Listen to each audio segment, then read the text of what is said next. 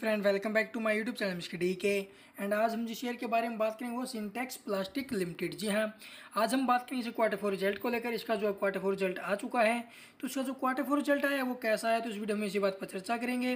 तो आइए आपका ज़्यादा टाइम वेस्ट नहीं करती मैं सीधे आपको इसका जो क्वार्टर फोर रिज़ल्ट दिखा देता हूँ। तो हम बात करेंगे इसके कंसोलिडेट रिज़ल्ट के बारे में, जो टोटल वैल्यू दी गई है, इन रुपीज़ करोड़ में दे रखी है।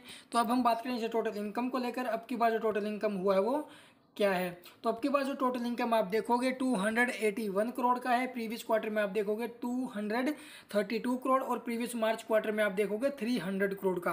तो क्वार्टर ऑन क्वार्टर हमें जो इसके एक्स इसके रिवेन्यू में जंप देखने को मिला है। अगर बात करें प्रीवियस मार्च क्वार्टर से हमें जो है ना, इसके रिवेन्यू में गिरावट देखने को मिली है। अब हम बात करते हैं इसके एक्सपेंस को लेकर यानी टोटल खर्चे। तो आप देखोगे, अब की बार जो इसके एक्सपेंसेस रहे वो 664 करोड़ के प्रीवियस क्वार्टर में आप देखोगे 258 करोड़ के प्रीवियस मार्च क्वार्टर में आप देखोगे 492 करोड़ के। तो आप देख सकते हो क्वार्टर ऑन क्वार्टर हमें जो इसके एक्सपेंस में जंप देखने को मिला है। अगर बात करें प्रीवियस मार्च क्वार्टर की तो वहाँ से भी हमें जो इसके एक्सपेंस में जंप देखने को मिला है। अब की बार आप देखोगे इसके जो रिवेन्यू है ना, वो इसके एक्सपेंस से कम है। तो इसका मतलब कंपनी को लॉस हुआ है। कितना लॉस हुआ है, वो भी आप देख सकते हो। तो अब की बार जो लॉस हुआ है, वो आप देखोगे तीन सौ चौरासी करोड़ का। जी हाँ 384 करोड़ का हमें जो अब की बार लॉस देखने को मिला है।